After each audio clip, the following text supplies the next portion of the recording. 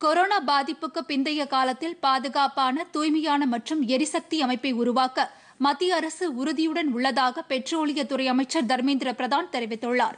சர்வதேச எரிசக்தி பாதுகாப்பு தொடர்பான மாநாட்டில் காணொலி வாயிலாக பேசிய அவர் எரிசக்தி துறையில் தற்சார்பை உருவாக்க அனைத்து நடவடிக்கைகளையும் இந்தியா எடுத்து வருவதாக தெரிவித்தார். ஏப்ரல் மற்றும் மே மாதங்களில் நிலவிய கச்சா எண்ணெயின் குறைவான விலையை சாதகமாக்கி ஐந்தாயிரம் கோடி ரூபாயை நாடு சேமித்தது என்றும் குறிப்பிட்டார்.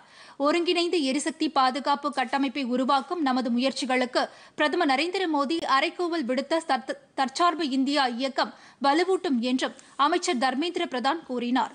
கச்சா எண்ணெய்க்காக வெளிநாடுகளை சார்ந்து இருப்பதை குறைப்பதற்கு ஐந்து முனை திட்டம் ஒன்றை அரசு செயல்படுத்தி வருவதாக அமைச்சர் கூறினார்.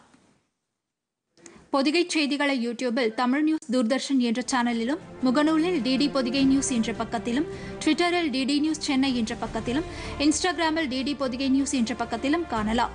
மேலும் உங்கள் கருத்துக்களை Podhigai DD news at Gmail dot com என்ற மின்னஞ்சலில் தெரிவிக்கலாம்.